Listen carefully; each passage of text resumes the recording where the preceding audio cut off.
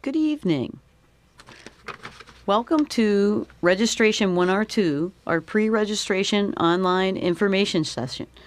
Michael Mason and Lynmarie Hamel of the Office of Undergraduate Studies will be reviewing information to help you develop your course schedule and prepare for registration later this week.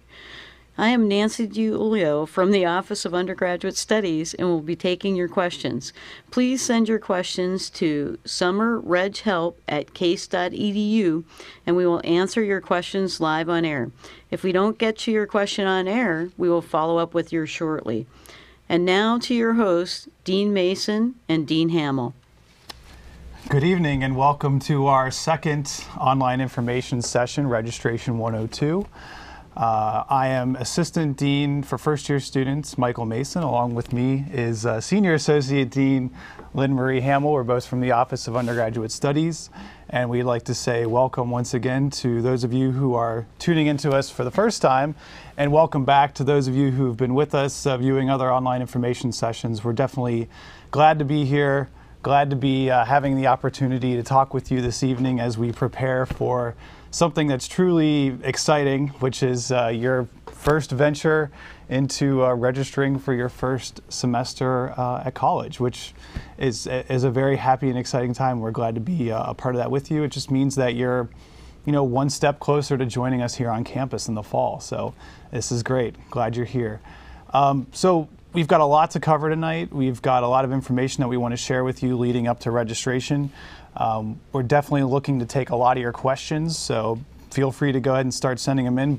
I'm going to start off by just getting right into it and going over some important dates uh, that are upcoming. So, as you're all probably aware at this point, uh, registration coming up on Thursday morning. So 9 o'clock Eastern Time, we will open uh, registration for you. We'll close that up at 11:59 p.m. on July the 17th. Uh, once that closes, the 18th through the 27th, um, myself, along with other deans in the Office of Undergraduate Studies, will be reviewing student schedules.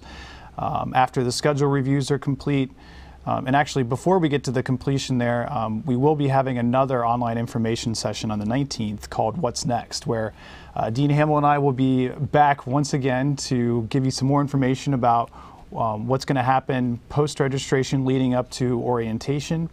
Um, but like I said, 18th through the 27th, we'll review schedules. Um, in early August, after the schedules have all been reviewed, you'll be contacted uh, and asked to select uh, SAGES first seminar. We'll talk a little bit more about that later. And then following through uh, mid-August into early August, we have uh, new student orientation, including your opportunities to meet with your SAGES instructor, uh, who is also your first year advisor. So I'm going to turn it over to Dean Hamel, who's going to talk to you a little bit more about some of the considerations that you want to keep in mind as you're developing your schedule for the first semester. Thanks, Michael. I'm glad to be here with everybody. It's been a while since we were here um, with you. It's been about a month. So we do want to go quickly through some information about um, what to what to look for if you're putting together a schedule. A lot of people have things in their shopping carts. But we know a lot of people still um, are not quite sure what to take. So again, we just want to review some information with you tonight. First of all, we want you to think about the differences between high school and college as you're as you're thinking about um, what classes that you want to take. In high school, you probably only had one section of a course offered or very limited electives offered. In, K, in college, you're going to have multiple options, multiple subjects, and you're really going to be responsible for putting together all of those um, different courses.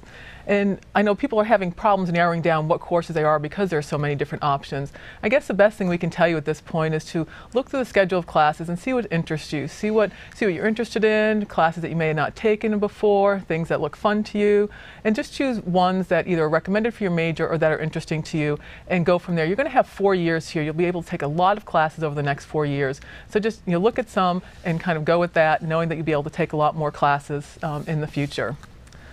The other thing that you need to kind of think of is um, the number of hours that you're going to be spending in class. In high school, you probably spend about six hours a day, at least 30 hours a week, if not more, in high school in classes. It, at school, in college, you may only spend 15 to 20 hours a week in class, and people are saying, well, I need to be taking more courses. There's a really a difference between what you need to do in high school classes and in college classes.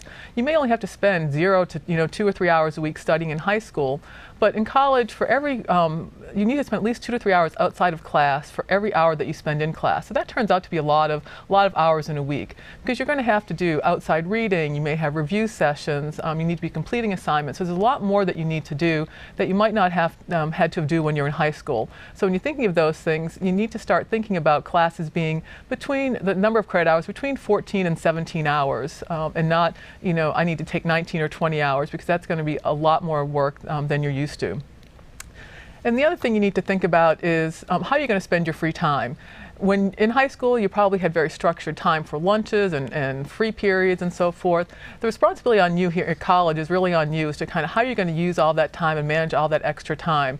You know, it'd be easy to say, okay, I want to go and play, you know, I want to take a nap, or I'm going to go and play you know, murals, or I'm going to do all these other things, or I want to work. But you have to kind of balance all those things um, because it, it's going to be a lot more um, higher ex expectations in your class, a lot more outside learning that you're going to need to do. Um, but that being said, we do want you to have a balanced lifestyle. You know, we do want you to you know, be able to eat and sleep and exercise and hang out with friends once in a while, but does need to be balanced against the, um, the higher expectations that are going to be on you um, in your academic coursework. So again, just those are some of the things you need to kind of consider as you're looking at classes, thinking of you know three to four classes that you want to register for now, knowing that we'll add a SAGES first seminar later, and keeping your class limit or the credit hours the first semester between 14 to 17 hours, knowing that some people may go up to 19 depending on what their majors are. So again, just some things to kind of consider as you're putting your classes together. And then we'll go back to Michael, talk about some um, credit issues that we've been getting a lot of information, questions about. Yeah, so we've been getting a lot of questions about credit. So AP credit, IB credit, transfer credit. We know that um, well, most of you probably saw the registration update email that came out last Friday that talked about us having posted all the AP credit that and IB credit that we've received up to this point. So if you haven't had the chance to do this already, what we want to do is kind of direct your attention over to SIS, the Student Information System. Um, we'd like for you to go on to SIS and actually take a look at your course history. So when you log on to the Student Center, uh, one of the first screens you're going to see when you log in is going to be kind of the Student Center homepage. Um, down towards the, the upper left, I guess you could say, of, of the screen, you're going to see um, a drop down menu. And um, once you click on that menu, one of the options that's going to be there is going to be course history. And so if you click on course history, what you're going to see is going to be uh, a list here of all the different uh, courses for which you've earned credit to this point. And again, it'll list the courses by you know course number, course description, and then in the grade column there, it'll give you an idea of where that credit came from. So if it was from AP credit, it'll be listed there as AP. Um, if it was IB credit, it'll be listed as IB. Uh, if it was transfer credit, it'll be listed as TR. But this is where you can find out whether or not uh, the credit that you believe you should be or you should have earned um, is actually listed in SIS and whether or not we've actually received that credit for you. So we've been getting a lot of questions about um, what if I'm, I'm, missing credit or I don't see the credit on the SIS uh, drop-down box. So a few things that we need you to do if you're uh, if you think you're missing credit. First, you should check the score equivalency information, the FYI guide, if you know what your score is, to see if you've met the criteria to actually get credit um, for a course here. Second, you need to see if we actually, if you had your, core, your scores sent to CASE.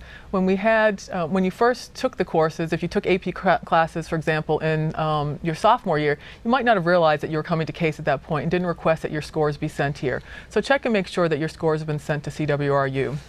Um, if you do have a score report from a um, from pr uh, previous year, you can send them to us. You can fax them to us, and the number is listed at 216-368-4718, or you can email them to us, scan and email it to us um, at summerreghelp at case.edu, and we can post the scores there. So those are the first few things that you should do if you think you're missing AP or IB um, scores. If you're missing or you, you, believe you're missing transfer or college credit uh, information, you should um, look at your checklist and review the information there because we've been updating um, the checklist as to whether we have your enrollment verification forms and your transcripts. So look there and see if you're still missing something. If you are, make sure you get that information sent to us as well.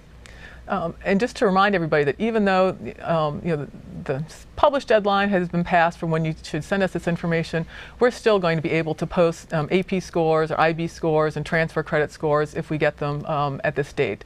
So that's kind of what you need to do if you're looking for any missing credit. And if you have any other questions about credit, please feel free to call us at 368 2928 um, or email us at summerreghelp at case.edu to see if you can find where that credit is. The next thing that we've gotten a lot of questions about um, as far as AP credit goes is whether to um, whether to use the credit or not use the credit. Um, and here we just have some kind of four general principles that we want you to think about as you're making this decision. First of all, our general recommendation is to accept the credit and move on. You know, you've proven yourself that you've been able to do college level work. You, you received you know a high grade on the on the AP exam.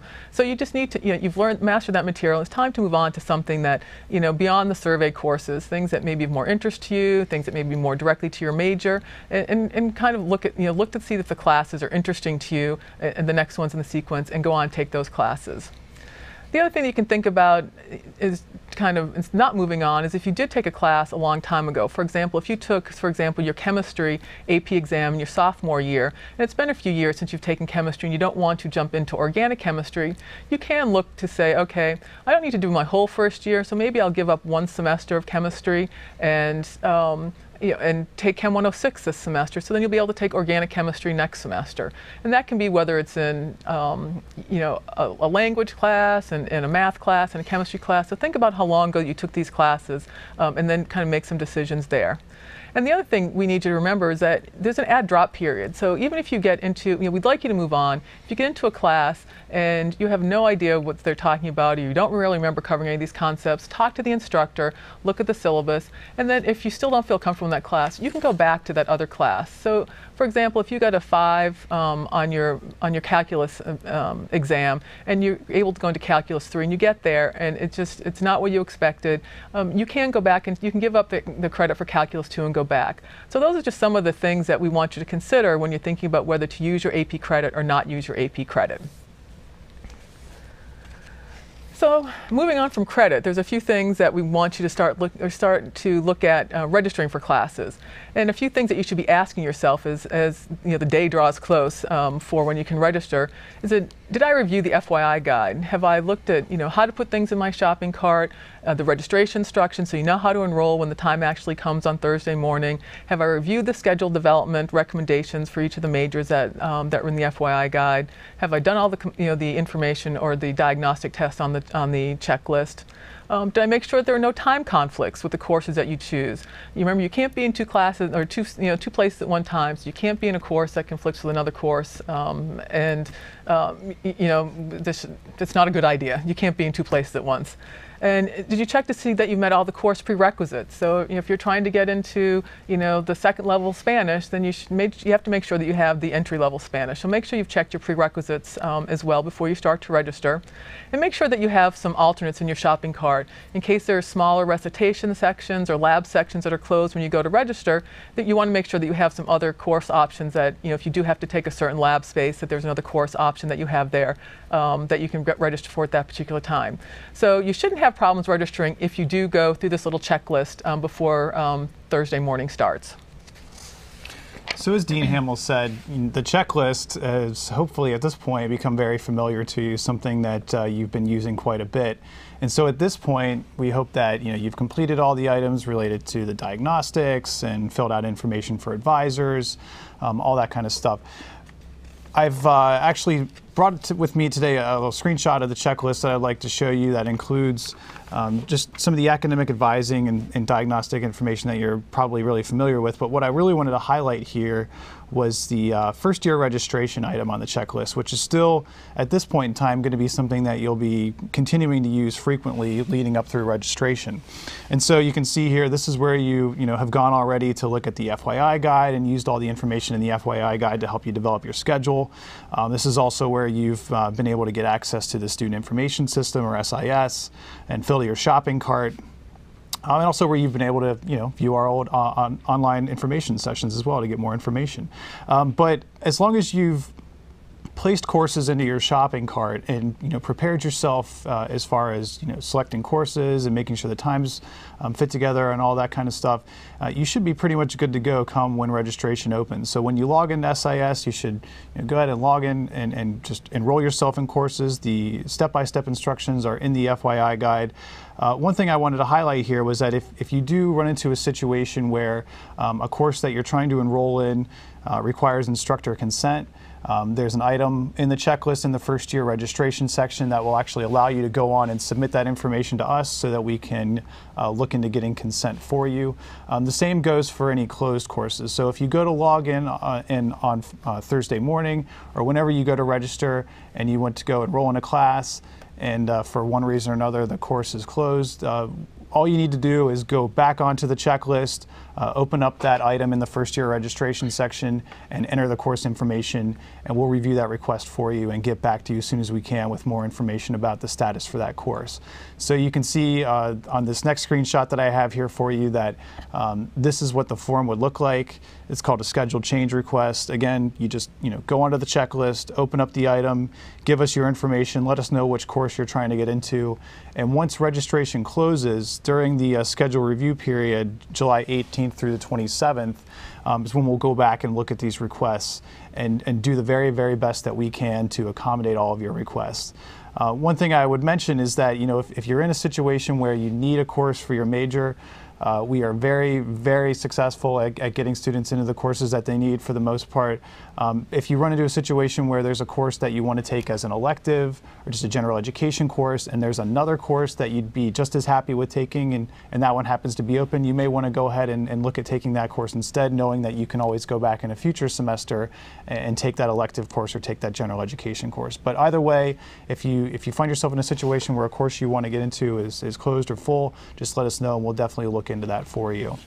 So the other thing I wanted to mention real quickly was that, you know, as long as you've, you know, done the preparation work, again, you've, you've gone through and, and looked through the information in the FYI guide, uh, you've used the shopping cart as your tool for course planning, um, you've looked at all the different information about the courses, like the dates and times and the prerequisites, you should be pretty much good to go. And once you get on SIS and, and complete the registration, it, it should go uh, pretty smoothly for you. Um, there may be a situation, given various potential circumstances where you may see one of a couple different error messages uh, on SIS and on SIS when you go to register. So I just wanted to bring those up to you just to kind of preview those for you. So um, one of the one of the first error messages is that you might see is closed.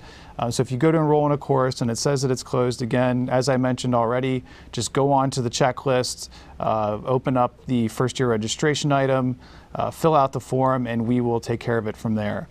Um, if there is a time conflict, uh, Dean Hamel already mentioned, you know, when you're looking at courses, if there's two courses offered at the same time, uh, you will need to choose between those two courses. You can only be in one place at a time.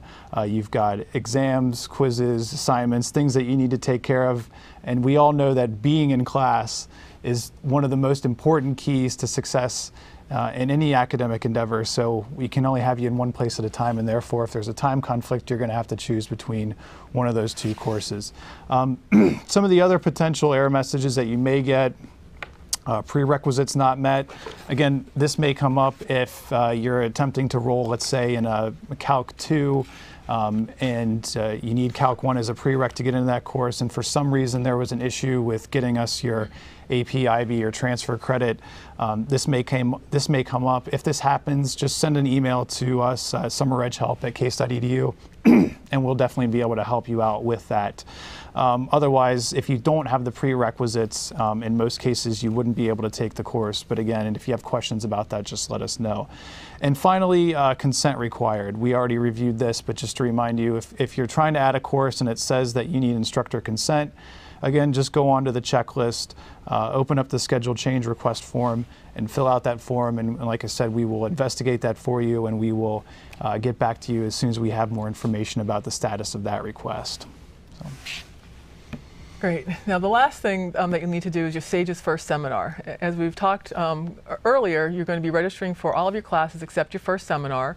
And what will happen is that after we review all of your schedules, we'll be notifying the SAGES office that your schedule is set, and then you'll be receiving an email from them um, listing out um, a certain number of um, seminars that actually fit your schedule. And you'll be asked, you'll be directed to um, a website that looks something like what we have um, up on the screen here. Um, and you'll ask to choose uh, uh, four or so um, seminars that you'd be interested in taking. And the SAGES office will actually place you in those seminars. And then you'll be notified probably mid-August as to what your, you know, what your seminar placement will be. And again, it'll be ones that you, know, you said that you'd be interested in taking. Um, you'll be notified in August. And once that happens, um, you'll then know what classes you're in, your schedule will be finalized, and you'll also know who your first year advisor is because as Michael had mentioned earlier, your first seminar instructor will be your, your um, academic advisor for your um, uh, at least your first semester, potentially for your first year. There's a few things that we ask that you don't do in relation to the first seminar. And please don't put SAGES First seminars in your shopping cart because you're not able to enroll for them um, directly. So don't attempt to register for them because you'll get error messages. Um, and I think that just, you know, people get frustrated if they see the error messages, but you're not able to register for your, your first seminar classes on your own. And don't request permission for a first seminar because that will go to an instructor. And again, we will be placing all of you into, into a seminar class. So we ask that you not do that. So I think we just want to wrap things up at this point. Again, we wanted to go just through some general information, and hopefully we've got some questions out there that we can answer for you to help you get registered. Great, thanks. That was really good information. Uh, we do have a number of questions coming in, so let's dive right in. So the first question came in, and uh, we have a student who wants to know they have AP credit for English but they're going to, of course, take a first seminar, SAGES first seminar. Does that mean that they're going to lose that AP credit for English, or can that AP credit for their English course meet some type of graduation requirement? That's a very good question because I know a lot of students have, you know, that question they associate the SAGES first seminar with uh, an English course. And in fact, uh, if you get credit for an English course through AP or IB or even transfer credit, um, that's okay. You can still use that course uh, to count towards any arts and humanities general education requirements uh, for your degree, but it does not replace the first seminar. The first seminar, the university seminars, all the SAGES requirements, those are courses that are unique to Case Western Reserve University, and those are experiences that we want every student to have. So your, your AP English credit will still work for you, it just doesn't replace your first seminar requirement. Great, thanks. I have another question regarding SAGES first seminars. We have several students who are looking at their schedule in SIS and they see that there is an FSCC course on their schedule. Why is it there and do they have to keep that course there? Can they change the time slot? Or what's going on with that? That's another really good question. So, uh, your SAGES first seminar, as Dean Hamel mentioned already, is something that uh, you'll be you know, you'll be scheduling after you complete the registration on uh, July 12th through the 17th.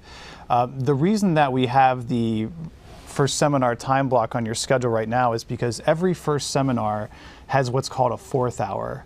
And fourth hour is going to be in addition to your regular uh, SAGES First Seminar meeting time. So when you actually go to choose your SAGES First Seminar in early August, you'll have a range of different times and days to choose from when you're indicating the ones that you're interested in taking. And so some of them may meet, you know, Monday, Wednesday, or Tuesday, Friday, or Tuesday, Thursday, and in the morning and the afternoon. Um, but regardless of when your regular uh, meeting time is for your SAGES First Seminar course, once week, either on Monday or Wednesday. It won't be both Monday and Wednesday. It'll be either or um, from 12:30 to 1:45, you'll have what's called fourth hour. And fourth hour is a time for you and the other students in your first seminar course to engage in a variety of different activities. So it could be that you're going to one of the museums in University Circle, or you're um, going to hear a lecture on a certain topic, or you're doing some kind of you know interesting activity, um, viewing a, a film in your class or something like that. But your SAGES first seminar instructor will decide how to use that time. But again, it'll either be a Monday or a Wednesday. It won't be both. Um, you'll find that out once you actually get into your first seminar course. And um, it won't even necessarily be every week. It's usually about um, two thirds of those Mondays or Wednesdays are used for fourth hour activities. Great, thanks. I have another question here from Devin, and Devin has taken the online Spanish diagnostic and tested into a 300 level Spanish class. However, when he went to choose a class, the one he's interested in is Spanish 311, and it has a prerequisite that says I have to take Spanish 202. Does that prerequisite apply, or can Devin take this course with his uh, score on the Spanish diagnostic test? That's a good question. I think we're getting a lot of uh, questions regarding foreign languages um, with the placement test. If people have the AP credit or IB credit or transfer credit for the um, for, to get into a 300 level class, they should register. They should be able to register without a problem. But we are working um, with the registrar's office to get uh, anyone who has placed into or has placed high enough on the placement test to get into a 300 level class to give them permission um, to register for classes. Um, if that does not work, it should, um, then he can email us or go onto the the um, change form that that Michael had mentioned, saying that you know I'm trying to get into this course. But he should be able to register um, next or not next week. I guess it's been saying next week for a while. I guess he should be registering the next couple of days um, into the 300 level Spanish course that he wants to get into. Thanks. I have another question here from Robert. Robert would like to know how and when can a incoming first year student request a course overload? It's a good question. So um, we do allow students to uh, request course overloads, but in order to do so, um, we need the students to complete their first semester their first semester of coursework um, and look at their uh, GPAs before making a decision about whether or not to allow that. So uh, our, our policy regarding course overloads is that if a student has, after at least one semester of coursework here at the university, a 3.2 uh, GPA, they may request up to 21 hours. Um, a student with a 3.5 or higher may request up to 23 hours. Uh, those courses, or excuse me, those overloads need to be discussed with me um, directly because we need to talk a little bit more about what the intention of the overload is and kind of the uh, overall fit within the within the schedule and the plans. Thanks. I have another question. This one comes from Jim. Jim wants to know if he enrolls in a course and finds out he doesn't like it or it's not a good fit for him, when and how can he change that course selection? Okay. Um, there are different timelines that you can change your schedule. As you know, you'll be able to register from July 12th to the 17th, um, and you can make any type of changes that you want to your schedule uh, um, up till the end, the end of the day on the 17th.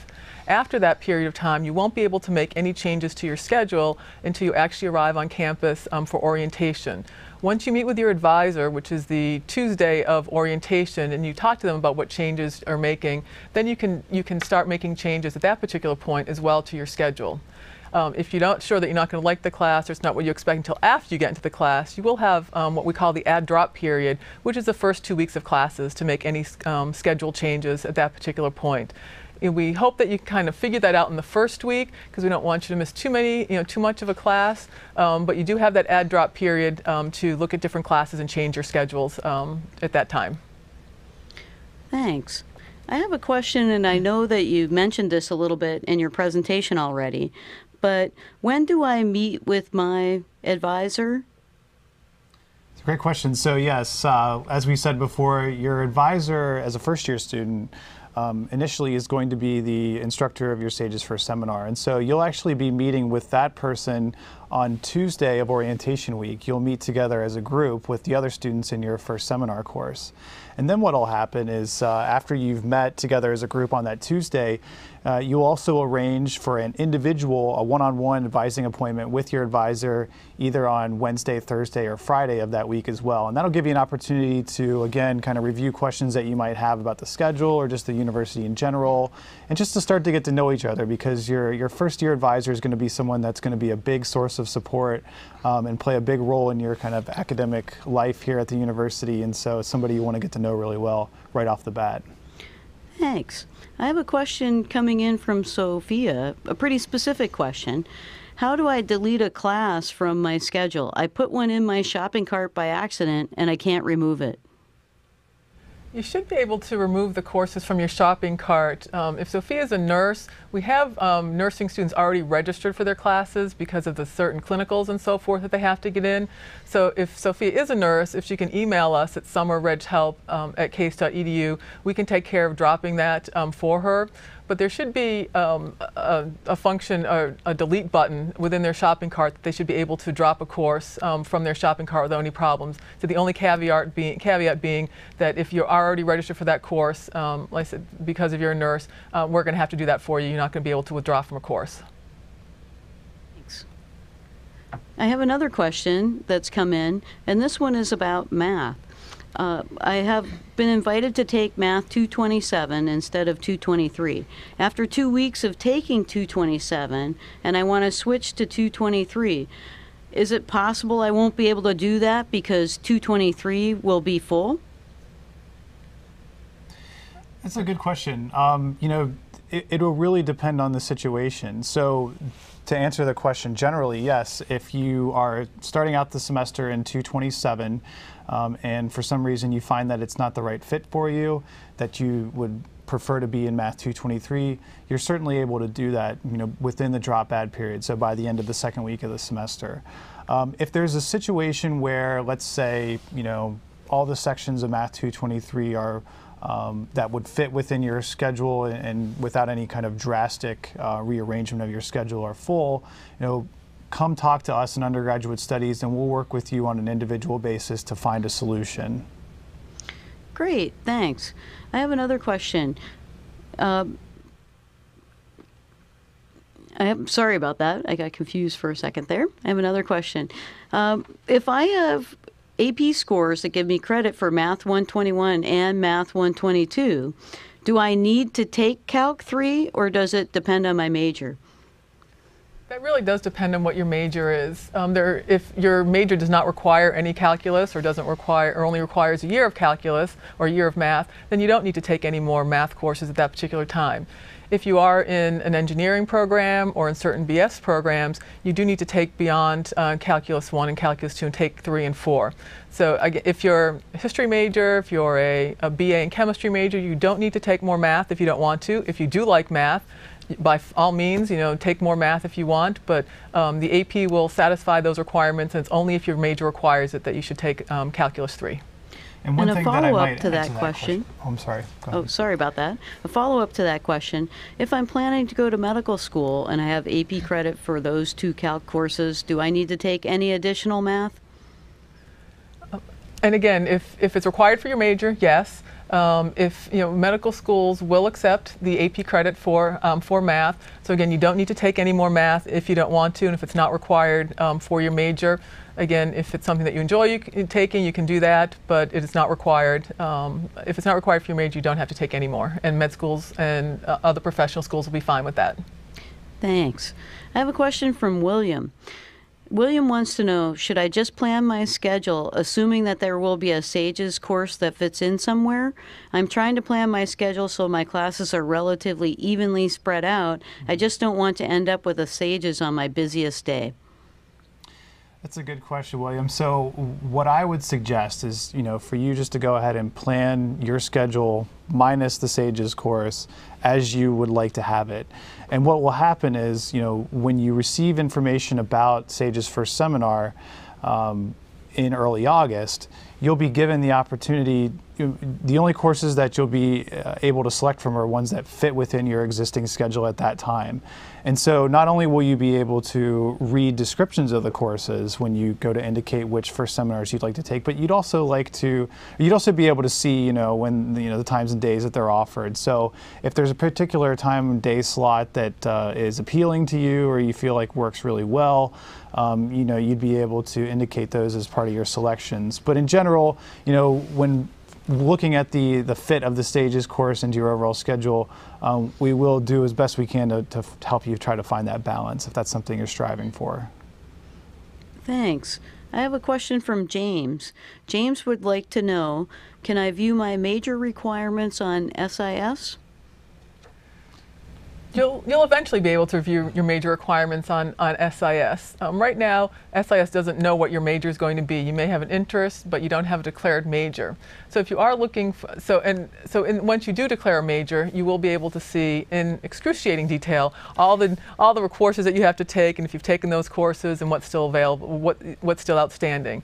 At this point, if you want to see what classes are required for your major, um, there's a few places that you can look. You can go to the individual um, website of the department that you're that you're interested in, um, again, so whatever whatever department that is, or you can go to the general bulletin that we have online, and that's um, bulletin.case.edu, and you can look at all the different um, majors and minors, and it tells you you know what's required. There's um, there's links to what the courses are, what the prerequisites are, um, what the electives are. So at this point, whether it's for a major or for a minor, you can look um, on the bull in the bulletin or on the department websites to see what the major requirements are. Thanks. I have another question from Adithi. Adithi, on her when she initially filled out the new student checklist, indicated that she would not be transferring credit. However, she is currently taking two co- college courses during the summer, and she's unsure how to try and get this credit transferred. Did she not answer the new student checklist correctly originally, or what should she do now? Well, I think Adithi's situation is, is, is kind of unique because you know when we're looking for information from the new student checklist regarding evaluation of college credit, I mean generally what we're looking at is are, are courses that you've already taken and completed while you were in high school. So this this sounds to me like a bit of a different situation because it's post college or post high school graduation, but pre-college matriculation. So um, what Adithi would need to do, or any other students who are in that situation would need to do, would be to email summerreghelp at case.edu. Um, it, you know, give us some more information about the courses that they're taking, where they're taking them, when they expect to complete them, and then we'll work with them individually to find out how that fits in with the rest of their overall plan for the fall semester and beyond. Great, thanks. I have a question um, from Eric. And Eric wants to know if there are any AP scores of three that students uh, can get credit for at CASE. Uh, oh, go ahead. Sorry. um, there are very few courses that um, you can get a three for and get credit for. Uh, most of them are foreign language courses. Um, and there's um, one math course, or the Calc BC exam, that if you get a three on the exam, but you have a sub score of at least four or five, you can get credit for um, the first semester of calculus. But other than that, it really just is some of the foreign language courses, and everything else does require um, a four or a five. And again, all of the all of the equivalencies and the scores that you um, that you need are listed on, on the FYI guide. Oh, thanks. I have another question about AP scores. I have a student here who's uh, emailed in that they don't know their AP scores yet, so they're not sure how to register. So I'm wondering, can they find out their AP scores on their checklist? They can um, they can find out the scores on their checklist, or um, if they go into SIS, they'll be able to see um, what they got credit for. Um, we don't actually tell them what the score was, um, but they should be able to extrapolate whether they got credit or not, what what score they actually had. Mm-hmm. Um, so they should uh, definitely check in SIS. Um, they can probably also call the College Board and get, if they haven't gotten a copy of their scores yet, get a copy of their scores if they want that. Um, but until we actually get scores and we know that um, the scores are coming, they're going to have to register for classes as though they do not have credit for those classes at this particular point. So they should look at the, so they should look in SIS and see what's posted. And again, if they have questions about it and they don't or don't understand what's in there, again, email summerreghelp at case.edu and we'll help them through that. Thanks. I have another question that's come in about the math diagnostic test. Uh, this student was placed into Math 120 and wants to know if there's any way that they can still take Calculus 1. That's a good question. So if, if you took the math diagnostic and the recommended placement was Math 120, um, what you would want to do at this point would be to go ahead and register for Math 120. And what will happen is uh, when you, during the first week of Math 120, um, you will be given another diagnostic just to kind of double check that that's the right placement for you. And so um, based on uh, that the results of that second diagnostic, it'll either confirm that Math 120 is the right place for you to start or give you the option to, uh, to move up into Math 121 or 125 if you feel like that would be a better fit for you. Thanks. I have another question. I have a student that on their application initially indicated their academic interest is chemistry, but now they would like to major in an engineering field, potentially biomedical engineering or chemical engineering. Can I take engineering courses or do I have to remain a chemistry major? Absolutely. You can take uh, engineering courses if you want. You can take uh, really any courses you want at this point. I mean, as long as you meet the prereqs for them, obviously. But um, that question does come up from time to time. Um, when you apply to university and you indicate a certain major of interest, Um, that doesn't necessarily, you know, bind you to anything as far as what's available to you course-wise or major-wise in your first year, because um, all first-year students, um, with the the exception of nursing students, will come in um, essentially undeclared. Um, so you won't have a major at this point. First-year students can actually begin declaring their majors starting November 1st. Um, so up to that point, you won't have an official major declared, and you should feel free to explore any and all academic interests that you may have. So if you decide, you know, you want to go in a completely different direction than what you said when you started and you applied here as, uh, as a student, please feel free to do so. In fact, we encourage it. And if you have questions about it, let us know because we, we're definitely glad to help along the way. Thanks. I have a question that's come in from Rick, and Rick noticed that the Bio 14, Bi- Biology 214 class time has changed. Is this permanent or just an error? Good question, Rick. So yes, um, we, we did change the, the time of the, the Bio 214 course. Um, so it actually you know flipped with uh, with Chem, Chemistry 105 um, to be in now in the afternoon. Um, so you know this is from you know this was done to make actually make more room for students to accommodate um, all the student demands. So um, at this point, we should go ahead and, and, assume that this will be the time moving forward that class is going to be offered. Thanks. I have another question also from Rick and from several other students. This question keeps coming in. It's again about the SAGES fourth hour scheduled time block. And, and Rick's question is I noticed that the SAGES fourth hour schedule block is Monday, Wednesday at 12:30 to 1:45. Are all the different SAGES courses di- given during this block only? Uh, yeah, and I, I, apologize if I wasn't as thorough in my explanation originally on that question. Um, but yes, the the reason that that those times, those days and times are blocked off for all incoming first year students is because all first seminar courses, regardless of their regular meeting time outside of fourth hour, will have a fourth hour on either Monday or Wednesday from 12:30 to 1:45. So that's the reason why we have those two days blocked off is because no first year students will be able to take courses during those times because they will have a fourth hour on one of those days at either 12:30 um, or 12:30 1:45 on either Monday or Wednesday. So. Thanks. I have a question that's come in from Justin. And Justin wants to enroll in courses outside of his intended major, which could count toward a potential minor. In this case, he's doing an engineering major, but a potential psychology major minor. What should I do? Um, we like when engineers kind of step out of the engineering school and take courses in other um, other majors and minors. Um, if you're, uh, depending on what your schedule looks like this semester, I mean, you, if there's a, a spot for general education requirement or arts and humanities or social sciences that's recommended for your major, um, you can make that your psychology 101 course, or if you have AP credit for that already, you can take an upper level psychology course.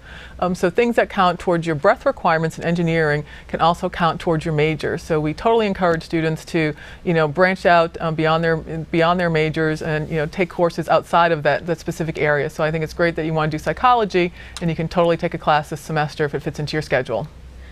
Thanks.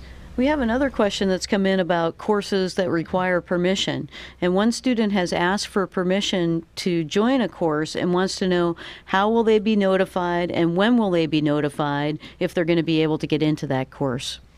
It's a good question. So, um, you know, we had asked the students to uh, submit uh, requests for courses that required consent um, by the 8th.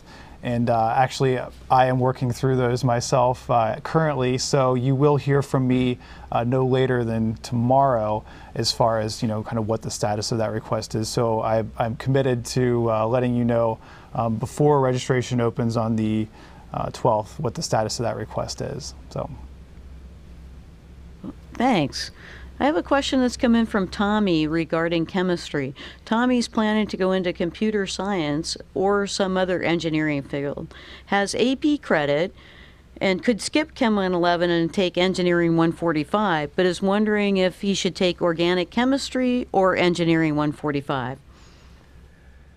For someone going into engineering, I, I, we'd really recommend taking the Engineering 145, keeping your AP credit um, for 105, 106, and 113, and going into Engineering 145. Is that's a, um, an engineering core course, and it's required by all the engineering um, departments. And um, for organic chemistry, depending on what um, major you're going into, may or may not be required.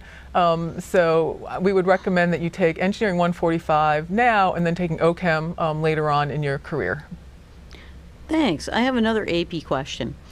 And this student wants to know if I have AP credit, do I have to do something, check a box, or fill out a form to formally accept that credit? And if I don't want the credit, is there something I have to do to say that I don't want that AP credit?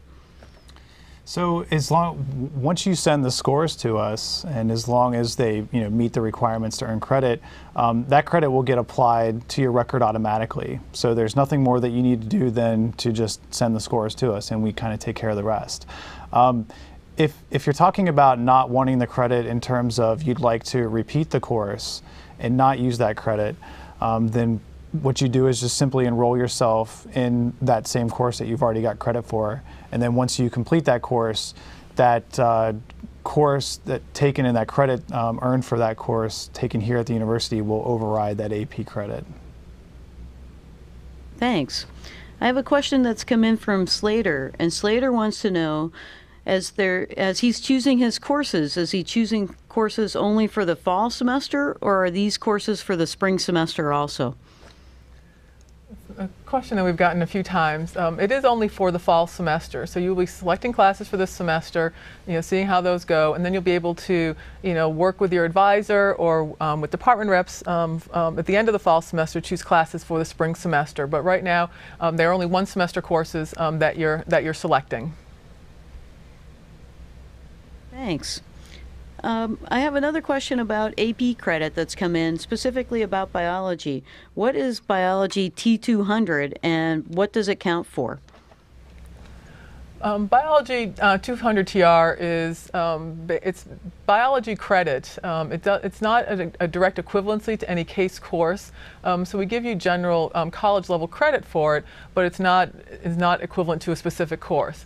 Um, it can, um, if you do have that credit, you can use it to fulfill certain requirements. You can fulfill um, the science, uh, natural science requirement and your general education requirements if you need to do that. Um, but if you're going to be a biology major, um, that will not count towards your biology major, um, but it will count for, like I said, general overall hours towards degree requirements as well. Thanks. I have a question from Firas. Firas has placed into a 300 level Spanish course via the online placement test. And he wants to know if he enrolls in that 300 level Spanish class, does he earn credits for the previous Spanish classes, say Spanish 201 and 202 and, and all of those courses? It's a good question. So, you know, when you're thinking about um, the, the placement test, the placement test is really just designed to tell you what would be the appropriate level for you to start your study at. So if you you know place into a 300 level through the, the placement test, um, it doesn't give you any credit for any previous coursework. The, the only way you'd have credit for previous coursework uh, here at the university would be either through AP or IP, IB exams or um, through college level credit that you took um, while you were in high school. But the placement just tells you where's the best place for you to start to kind of maximize your, your prior knowledge of the language. Thanks. Uh, we have a question that's come in, and a student wants to know Is it possible to be on a wait list for a class? there's not a, a wait list function for courses. So, um, actually, what's, what's replacing the wait list function and what's kind of serving the same purpose is that schedule change request form. So, you think of a wait list for you know being requesting a space in a course where the course is full and that schedule change request is serving that same function. So if you find yourself in a situation where you want to get into a course but it's it's full, um, you just go to the schedule change request under the first year registration item on the new student checklist, um, enter your personal information, contact information, information about the course you want to get into, and then we'll follow up on the rest from there. Thanks. I have a different sort of question that's come in. Uh, we have a student who has some information, knows some of the professors or knows about some of the professors at Case, and is looking to take some classes from some specific people, and has been looking on the schedule of classes in SIS, seeing what professors are assigned to courses, and wants to know is that final or were those professor assignments for those courses change? I'm pretty sure the, the classes, uh, the, the instructors are pretty final um, mm-hmm. for, for this semester in case you know something catastrophic happens. Hopefully that doesn't. Um, but they're pretty much set for, uh, for this semester. The, the, faculty know in advance what classes are going to be teaching. So if he can't find the faculty or faculty members that he's looking for, they might not be teaching anything this semester or on sabbatical. Um, but it's, it's pretty solid that those are the, um, the instructors that will be teaching the courses this semester. Thanks. Uh, we have a question from Eric about minors, and Eric is is curious about when he should start choosing courses for minors, and where can he find information on what's required for a minor. Again, um, if uh, looking for courses that are required for majors or minors, um, you can either go to the website of the um, of the department in which the minor is offered, uh, is one place to look. You can also look in the, in the general bulletin, um, which is online. Again, that's bulletin.case.edu.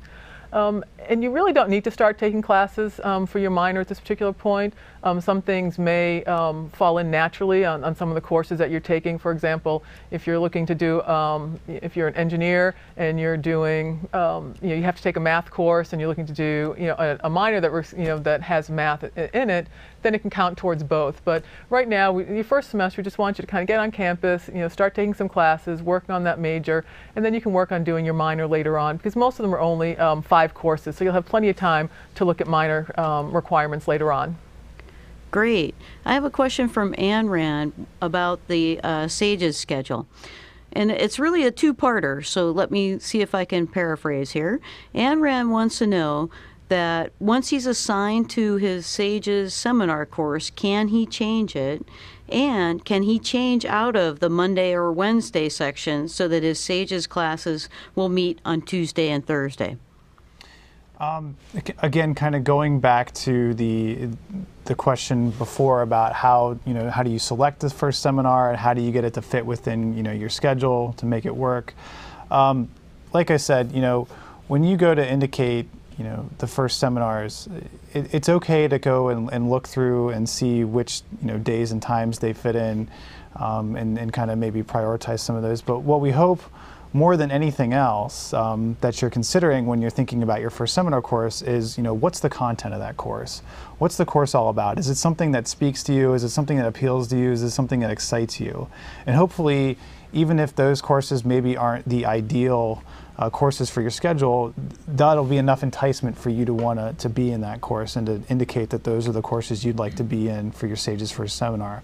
Now, if there's a situation where you find yourself in a course that just really, really doesn't work for you, um, and that means you've you know you've gone and met with your first seminar advisor during orientation week, and, and you find out more about the class, and you see how it all lines up, and it just really doesn't work. Um, you come talk to us on that Friday of orientation week. There'll be a special um, a special time period for you to come meet with the director of SAGES if that's becoming a problem for you. But in most cases, like I said, you know, we're working around your existing schedule, trying to help you find some balance. Um, but we hope that above all that you know it's the content of the SAGES course itself that really drives your desire to be in a particular course, not you know the days and times that it's offered. Thanks. I have a question on a different topic. We have a question from Joe who wants to know Is there any advantage to taking the enhanced physics or enhanced math class, which he's been invited to do, rather than the standard math and physics classes? I, well, I guess to answer that, I mean, I would think about what the what the phrase or what the term advantage means um, because really it comes down to kind of a personal decision. I mean, you know that there's nothing you know wrong there's no disadvantage to taking the, the regular offering. So you know taking math 223 instead of math 227 doesn't put a student at a disadvantage just like taking physics 121 instead of 123 wouldn't either. You're still going to get really great learning experiences no matter which course you take. I think what it really comes down to is you know how do you want to approach that subject do you want to you know approach things from more of a theoretical perspective do you want to go really more in depth do you really really love that subject And if that's something that you know you find appeals to you, then it may be to your advantage to take that course because that's something that will bring you the most fulfillment. But in terms of advantage, as far as you know, looking great on a transcript or you know putting you in a better position as far as you know thinking ahead to graduate schools or things like that, um, that's not what they're designed for, and that's not really what they do.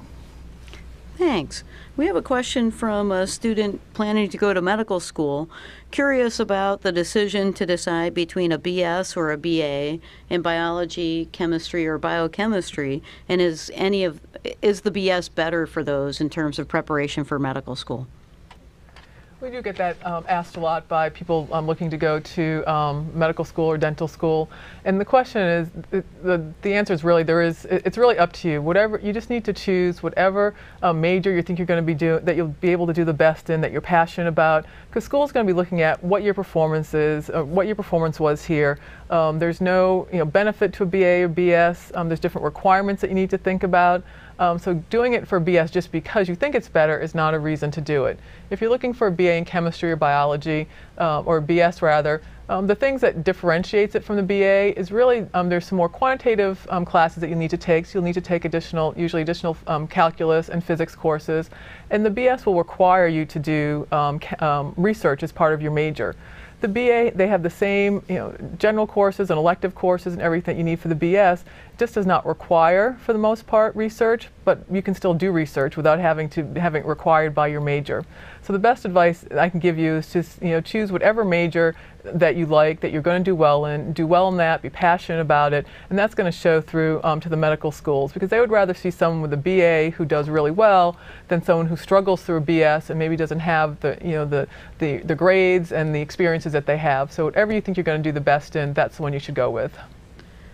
Great, thanks. I have a really specific question uh, from Jane. Jane is looking for Chinese 102 and didn't see it in the searchable schedule and is wondering is Chinese 102 going to be offered this fall? And I realize that we'll probably have to email Jane back, but thought you might know. Um, in, in most cases, when you're looking at um, language courses, if you look in the searchable schedule and you only see a, a, 101 or a 201 or a 301 offered and not the 102, 202, 302, um, what you can draw from that is that um, it's it's probably a situation where you know 101 is offered in, in the fall only, and, and 102 would be offered in the spring only, and same with 201 and 202. So if you don't see it in there, um, then that likely means that it's going to be offered in the spring. Um, so you can you know pick that course up in the springtime. Um, but if you have again you know more specific questions about course offerings. And times that you don't see things in the schedule and you want to know more about, just email summerreghelp, and you know we'll we'll provide you with more information about that. Okay, I have a question that's come in, and actually, I think we're getting close to the end. We'll probably just have one more question after this. And this student is concerned about time management and wondering if they're going to be able to do a work study job and uh, keep up with their courses this semester. Like we'll get to the end with who's going to yeah, answer this who's one. Answer it, so go um, I, I, think that is a question that, that a lot of people have, and we kind of addressed it a little bit at the beginning.